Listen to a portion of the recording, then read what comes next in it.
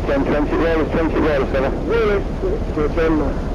I've got them, so that here you slipped in petrol for uh, proceeding outbound, and then to the west, sir. You're and PVC number, please. Uh, maximum draft 3.1 and PC exemplary. CHM, what's it?